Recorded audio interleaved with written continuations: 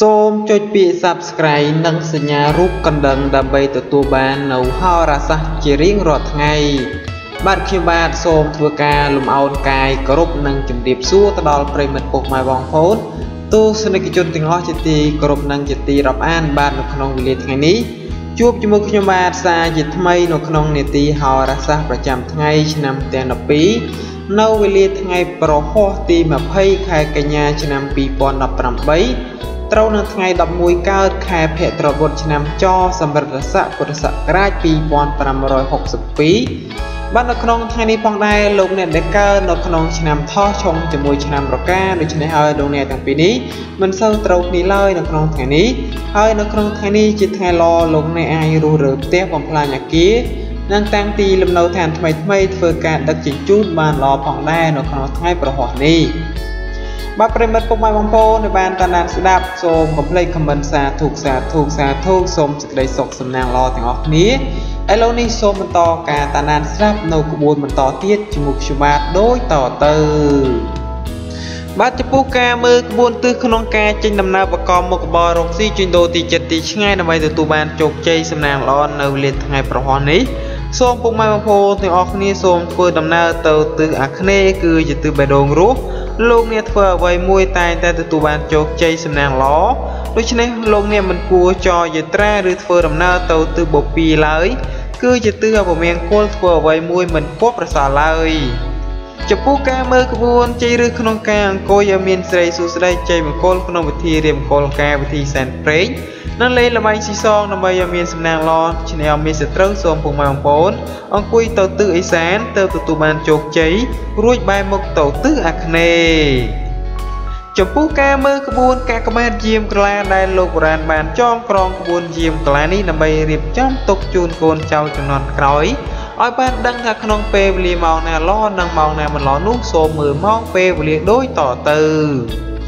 ចំពោះម៉ោងយប់ព្រឹកចាប់ពីម៉ោង1រងាវរហូតដល់ម៉ោង6:30នាទីព្រឹកគឺជាម៉ោងកាកបាទ ឬជាម៉ោងអន្តរាយបើលោកអ្នករកស៊ីចូលហ៊ុនជាមួយអ្នកដតីនៅថ្ងៃនេះគឺមានការខាត់បងធំ ម៉ោងពេញពន្លឺចាប់ពីម៉ោង6:30ដល់ម៉ោង11:00គឺជាម៉ោងផ្នត់0មានន័យថាលោកអ្នកធ្វើអ្វីមួយគឺមិនទទួលបានលាភអ្វីឡើយក្នុងចន្លោះម៉ោងនេះហើយលោកអ្នកក៏មិនជួបនូវគ្រោះអ្វីឡើយ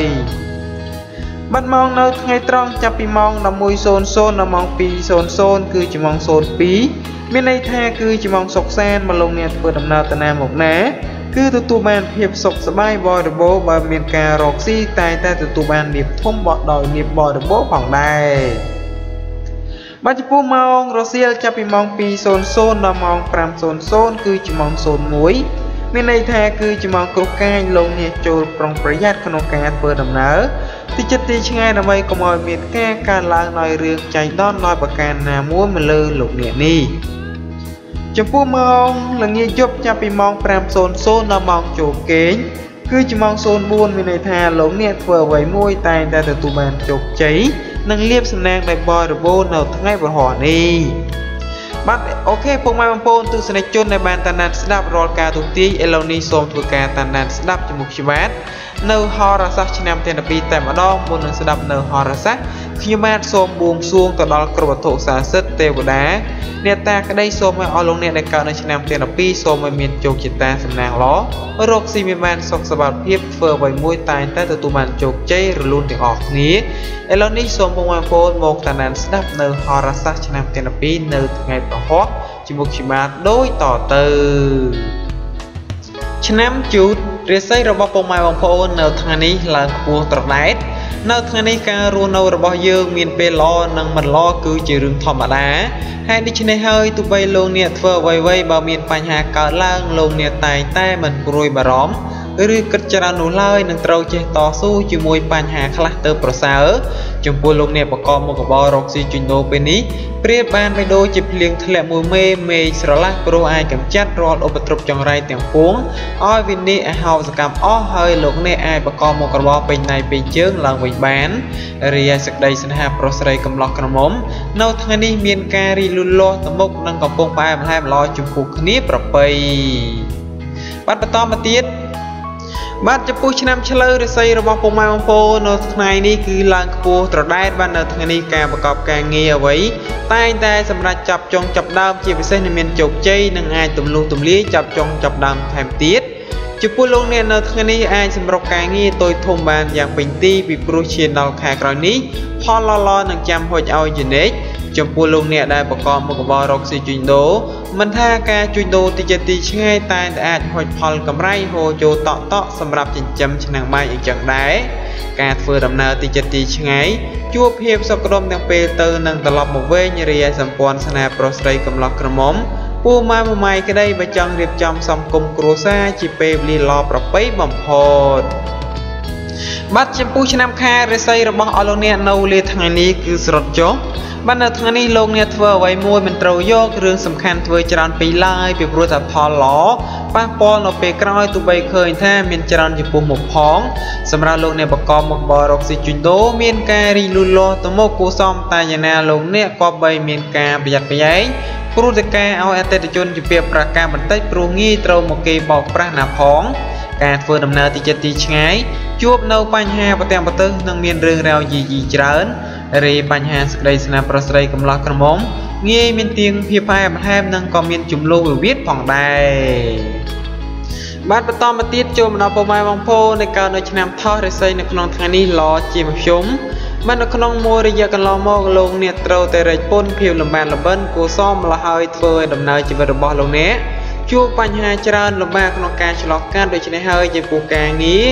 លោកអ្នកត្រូវបំពេញនៅថ្ងៃនេះវិញតែតែមានការរីលូតលាស់ទៅមុខជាសន្សឹមសន្សឹមដោយសមមួយដង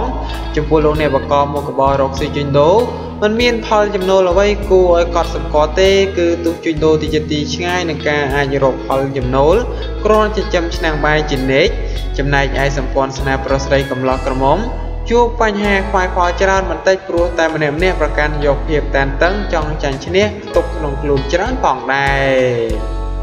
បាទបន្តមកទៀតចូលមកដល់ពុកម៉ែបងប្អូននៃកើតនៅឆ្នាំរោងបាទរិស័យនៅក្នុងថ្ងៃនេះល្អជាមធ្យមបាទនៅក្នុងថ្ងៃនេះទោះបីការប្រកបការងារអ្វីមួយលោកអ្នកងាយឆាប់ប៉ះមានការប៉ះទង្គិចជាមួយមនុស្សនៅក្បែរខ្លួនណាគប្បីមានការប្រយ័ត្នប្រយែងបន្តិចទើបពុំមានបញ្ហាចម្រងចម្រាស់ណាមួយនាំត្រូវឈឺក្បាល ការរស់នៅក្នុងរវងគ្រួសារលោកអ្នកត្រូវតែចេះអត់ដោឲ្យគ្នាទៅមានភាពសុខដុមនិងប្រកាសមិនសូវហូរធ្លាយចេញចំពោះលោកអ្នកប្រកបមុខរបររកស៊ីជីណូក្នុងថ្ងៃនេះការរកផលចំណូលជួបការលំបាកហើយតតែស្វះស្វែងបន្តិចទៅប្រកាសហូរចូលក្រនចិញ្ចឹមក្រុមគ្រួសារទៅរួចរាបញ្ហាសម្ព័ន្ធស្នាប្រុសស្រីកំឡោះក្រមុំ មានការជឿនលឿនទៅមុខនិងកំពុងផ្អែមល្ហែមល្អចំពោះគ្នាប្របី បាទចំពោះឆ្នាំអាសាញម៉ារិស័យរបស់ពុកម៉ែបងប្អូននៅក្នុងថ្ងៃនេះគឺឡើងខ្ពស់ត្រដែតនៅថ្ងៃនេះការប្រកបការងារមានការជឿនលឿនច្រើនផ្នែកក្នុងនេះមិនថាជារឿងការងារឬរឿងប្រកាសនោះឡើយសម្រាប់លោកអ្នកបកមកកបរកស៊ីជុញដូរវិញមានភាពរលូនល្អទៅមុខនឹងការរកប្រាក់កម្រៃទៀតសតក៏គ្រាន់បើជាមុនផង ការធ្វើដំណើរទៅចិត្តទីឆ្ងាយជួបភាពសុខដុមទាំងពេលទៅនឹងត្រឡប់មកវិញរាយសម្ព័ន្ធស្នេហ៍ប្រុសស្រីកំឡោះកណ្មងពូម៉ៅម៉ៃក្តី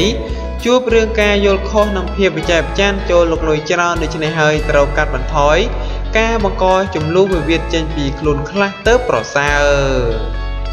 បាទបន្តមកទៀតចូលមកដល់ពុកម៉ែបងប្អូននៃកើតនៅឆ្នាំមមីរាសីនៅថ្ងៃនេះស្រត់ចុះបាទនៅក្នុងថ្ងៃនេះលោកអ្នកធ្វើអ្វីមួយគឺងាយទទួលរងការប៉ះទង្គិចនិងមានកើតបញ្ហាល្អកកជាមួយអ្នកដទៃណា គប្បីមានការប្រយ័ត្នប្រយែងចំពោះលោកអ្នកបកបមុខរបររកស៊ីជួញដូរពេលនេះមានការប្រែប្រួលប្ដូរខ្លះព្រោះជួនល្អជួនអាក្រក់ជួនកាលមានការដាំក្បាលចុះខ្លាំងដូច្នេះហើយលោកអ្នកត្រូវប្រយ័ត្នពាក្យសម្ដីបន្តិចបន្តួចទើបអាចជៀសផុត អំពីចំនួនវិវាទទាំងពួងទៅរួចចំណែកលោកអ្នកប្រកបការងាររាជការឬការងារក្រុមហ៊ុនឯកជនក្តីមានការប្រទាំងប្រទើសច្រើនព្រោះតែក្រុមមនុស្សចាំតែចាប់កំហុសនិងព្យាបាលយាយីក៏មានច្រើនផងរីឯបញ្ហាគូក្រងប្រិយប្រពន្ធគូស្នេហ៍ប្រុសស្រីកំឡោះក្រមុំពូម៉ៅម៉ៃក្តីកុំសូវយករឿងចាស់មកនិយាយច្រំដែរច្រើនដងប្រយ័ត្នកើតជាចំនួនវិវាទនៅក្បែរគ្នាមិនកើត បាទបន្តមកទៀតចូលមកដល់ពុកម៉ែបងប្អូននៃកើតនៅឆ្នាំមមែបាទរិស័យនៅថ្ងៃនេះគឺឡើងខ្ពស់ត្រដែតតែម្ដងបាទនៅថ្ងៃនេះ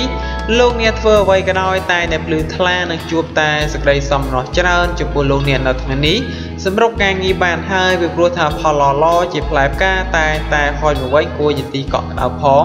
ចំណែកបើលោកអ្នកបកមុខបររកស៊ីជួញដូរពេលនេះតែតែអាចទាក់ទាញអតិថិជនចាស់ថ្មី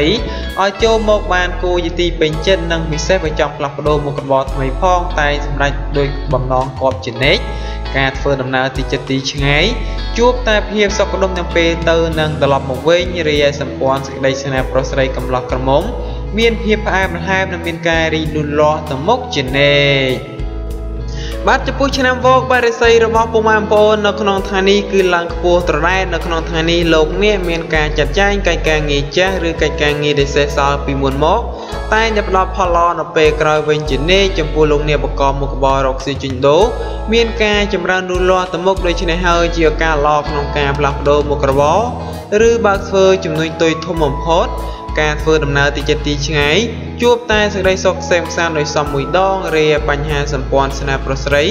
មានភាពយកចិត្តទុកដាក់និងផ្អែមល្ហែមល្អចំពោះគ្នាប្រពៃ បាទបន្តមកទៀតចូលមកដល់ពុកម៉ែបងប្អូននៅកើតនៅឆ្នាំរកាបរិស័យនៅថ្ងៃនេះឡើងខ្ពស់ត្រដែតនៅថ្ងៃនេះបលោកនេះមានការចាត់ចែងកិច្ចការងារចាស់ឬកិច្ចការងារដែលសេសសល់ពីមុនមក តែនឹងផ្ដល់ផលល្អនៅពេលក្រោយមកវិញជានិច្ចចំពោះលោកអ្នកបកបមុខរបររកស៊ីចិញ្ដូមានការចម្រើនលូតលាស់ទៅមុខដូច្នេះហើយជាឱកាសល្អក្នុងការផ្លាស់ប្ដូរមុខរបរឬបើកធ្វើជំនួញទុយធំបំផុត ការធ្វើដំណើរទៅចិត្តទីឆ្ងាយ ជួបតែសេចក្តីសុខសេមខ្សានដោយសមមួយដងរីឯសម្ព័ន្ធស្នេហ៍ប្រុសស្រី មានភាពយកចិត្តទុកដាក់និងផ្អែមល្ហែមល្អចំពោះគ្នាប្រពៃបាទចំពោះឆ្នាំចរិស័យរបស់ពុកម៉ែបងប្អូននៅក្នុងថ្ងៃនេះល្អជាមធ្យមបាទនៅក្នុងថ្ងៃនេះលោកអ្នកអាចទទួលរងនៅផលប៉ះទង្គិច និងមានរឿងរ៉ាវយីយីមួយចំនួនត្រូវឆ្លងកាត់ផងដែរដូច្នេះហើយទោះបីលោកអ្នកធ្វើអ្វីក៏ដោយតែតែមានការអត់ធ្មត់បន្តិចទើបមិនមានបញ្ហាណាមួយចូលមកដល់សម្រាប់លោកអ្នកបកកមុខបររកស៊ីជីងដូទោះបីលោកអ្នកចង់ចេញធ្វើចំនួនជីងដូទីជាទីឆ្ងាយមិនទាស់ខុសអ្វីទេព្រោះតែផ្លែផ្កាដែលទទួលបានក៏មានការរីកលូតលាស់ជាសន្សំសំសឹមគ្រាន់បំពេញបំពង់ផងដែរ រាយបញ្ហាសម្ព័ន្ធសេចក្តីស្នេហ៍ប្រុសស្រីកំឡោះក្រមុំកុំដើរហើពីវាពីការឬប្រព្រឹត្តអំពើស្នេហាភ្លើតភ្លើនប្រយ័ត្នជួបរឿងសយកើតជារឿងធំគ្មាននរណាជួយស្រោចស្រង់ទៅរួច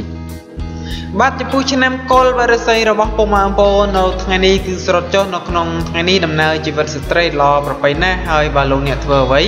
ឃើញតែមានការជឿនលឿននិងមានភាពសុខដុមគួរសមការរស់នៅរបស់លោកអ្នកគប្បីមានការបើកចិត្តអទូលាយបន្តិចហើយមិនត្រូវយកបញ្ហាអ្នកដតីទុកខ្លួនច្រើនឡើយនាំទៅកើតរឿងរ៉ាវសមងតែប៉ុណ្ណោះសម្រាប់លោកអ្នកបកកមុខរបររកស៊ីជីងដូជួបលើផលលបាចំពោះគ្នាច្រើនព្រោះតែផលចំណូលរកបានភាពតានតឹងនិងភាច្រើនលៀបហេងហេងធំធំ ច្រើនមកហួសជានិច្ចរីបញ្ហាសក្តីស្នាប្រុសស្រីកំឡោះកំមុំ មានបញ្ហាអ្វីមួយលោកនេះមិនចេះដោះស្រាយទេនោះបញ្ហារកម្មរកោសពិតជាកើតមានឡើងជាជាមិនខានឡើយបាទអរគុណដល់ពុកម៉ែបងប្អូនទស្សនិកជនដែលបានតាមដានស្ដាប់នៅក្នុងនេតិហោរាសាស្ត្រប្រចាំថ្ងៃជាមួយខ្ញុំបាទនៅក្នុងថ្ងៃប្រហោះនេះ សូមជូនពរទទួលទានមានបានសំណាងល្អសុខសុវត្ថិភាពប្រកបកិច្ចការអ្វីមួយជោគជ័យជារៀងរហូតដូច្នេះខ្ញុំសូមបញ្ចប់ត្រឹមនេះចុះសូមពុកម៉ែបងប្អូនចុច like និងចុច share ដើម្បីចែកចាយទៅដល់អ្នកដទៃទៀតខ្ញុំបាទសូមអរគុណសូមគោរពលា